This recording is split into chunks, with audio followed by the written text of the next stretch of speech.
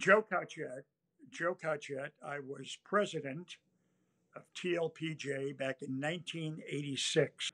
I think we had been around about four or five years at that time, uh, maybe uh, five or six. And it was a great honor. We had some terrific people from all across the country. I was a young lawyer, uh, practicing then about 10 years. And we brought in some very aggressive young lawyers that were very interested in uh, social democracy. By that I mean the social movement uh, as it could be brought about by litigation. And that's how we came up with the name Trial Lawyers for Public Justice.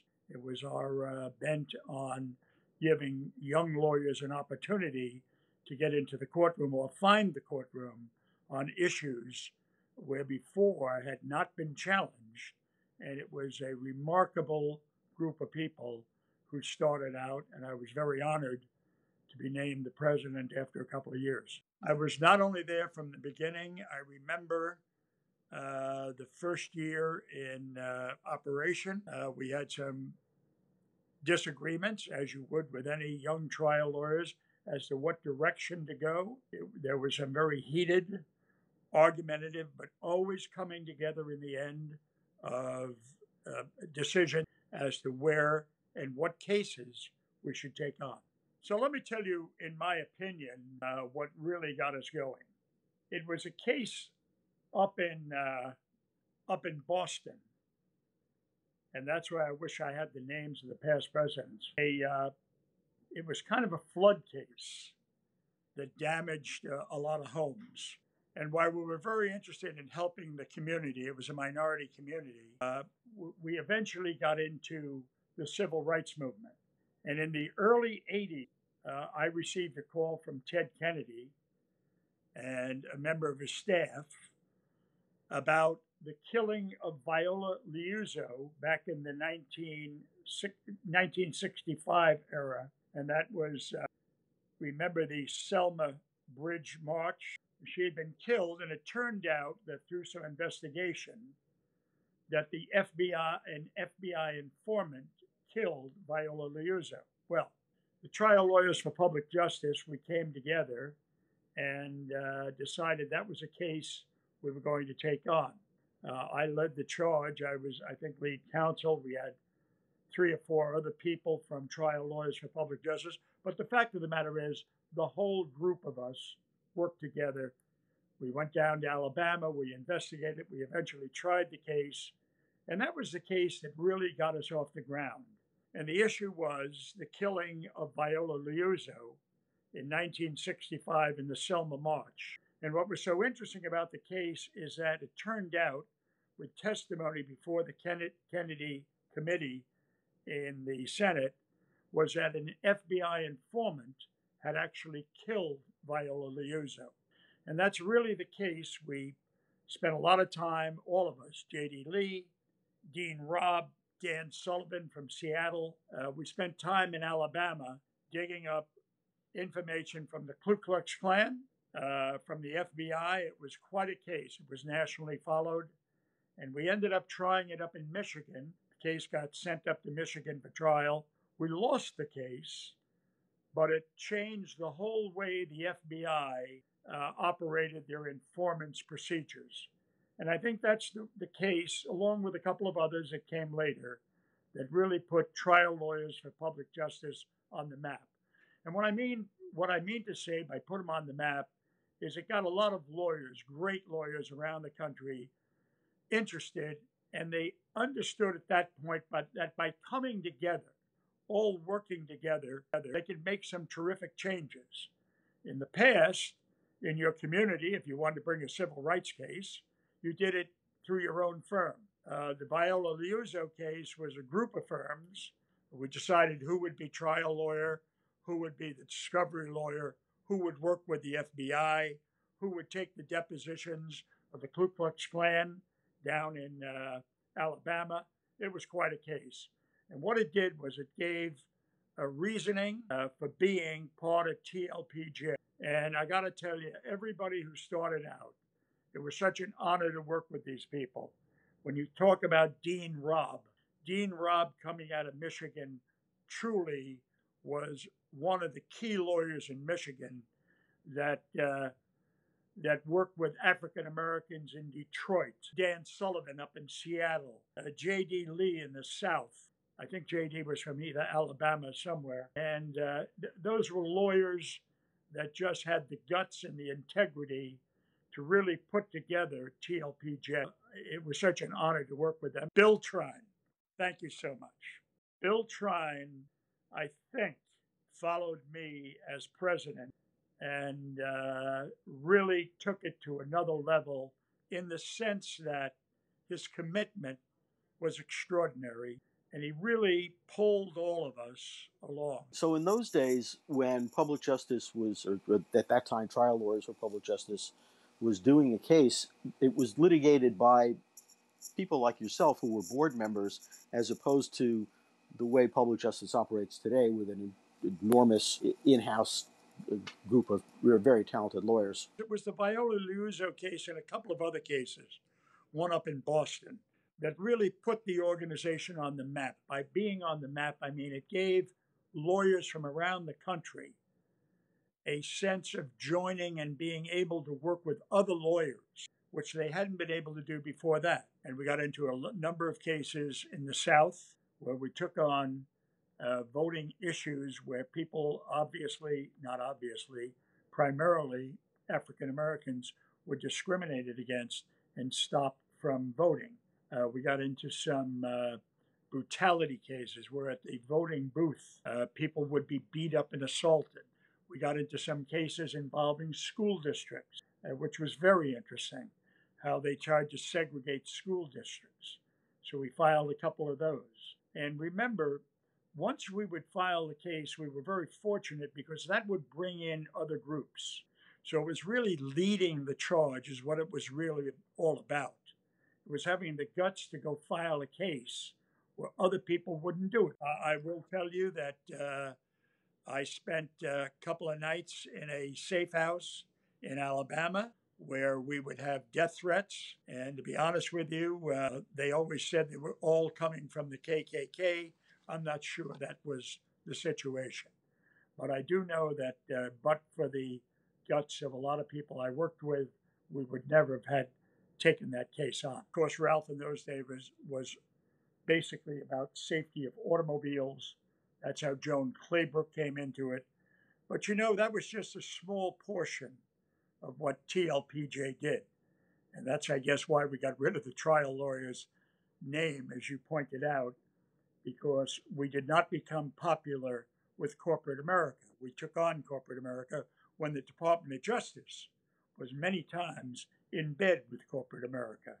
Uh, I don't care, Democrat, Republican, what administration you had.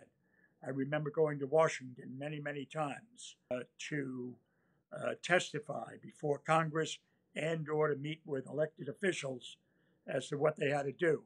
You use the word courage yes, there was courage, but I, I, I want to move away from courage to more into a, uh, a word of, um, of integrity.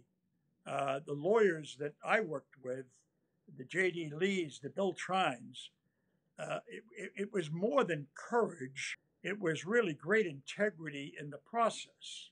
And they wanted to use the legal process to see if they couldn't bring about social change. And yes, there was a lot of encouragement needed, and there was a lot of uh, courageous people, and you're right about that.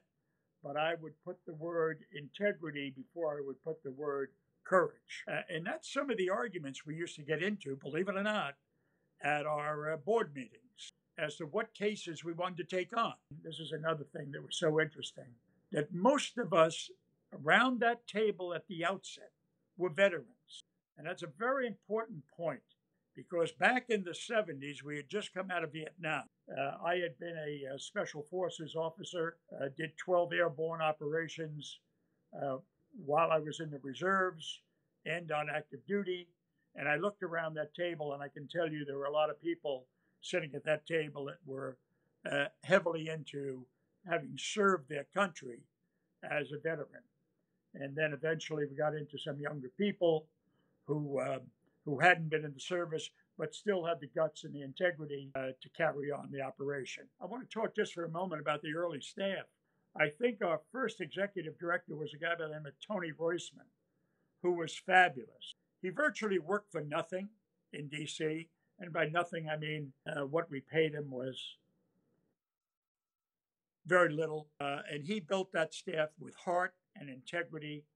Brought in a young man by the name of Arthur Bryant, I believe, who really became the guts of moving on and taking over Tony's role.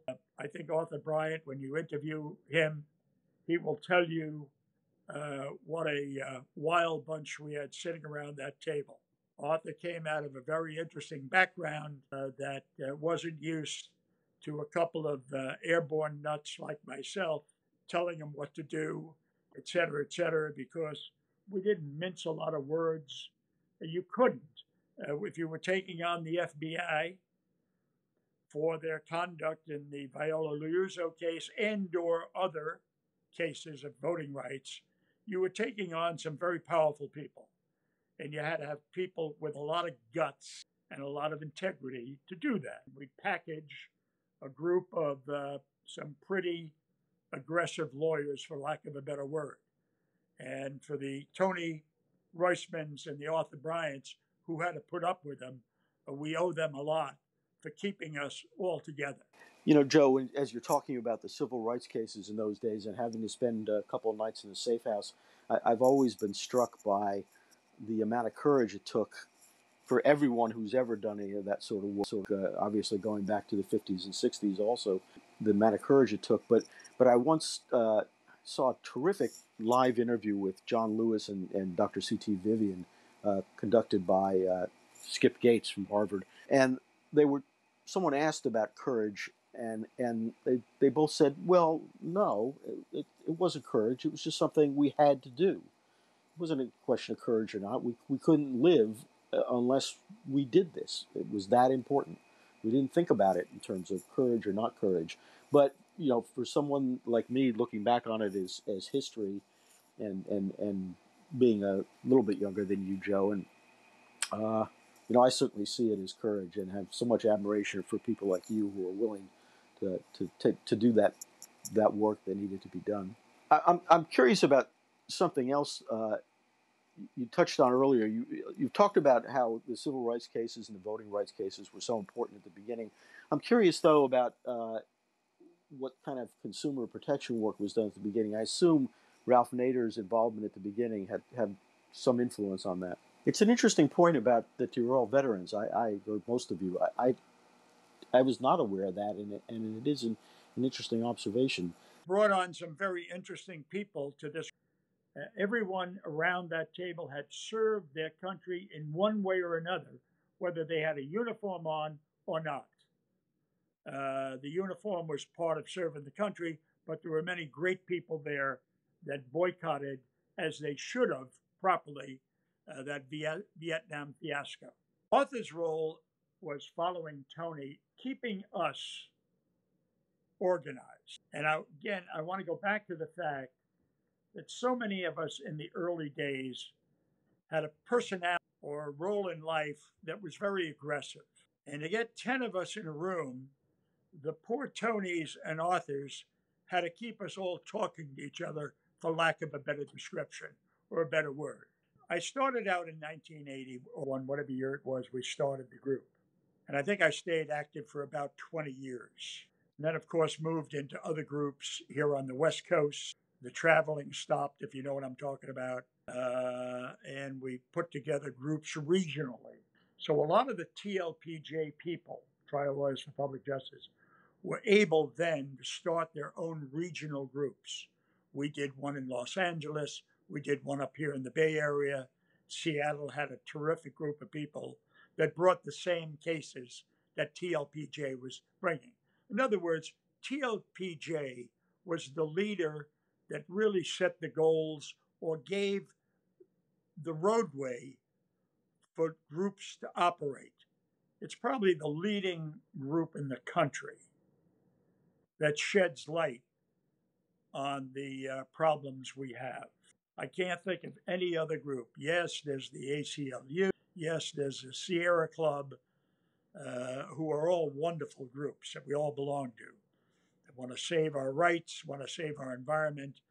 But I, I just have to tell you that the TLPJ, Trial Lawyers for Public Justice, really gave backbone to the ACLU. For example, the ACLU was started, what, 7,500 years ago, if I'm not mistaken. It's an older group.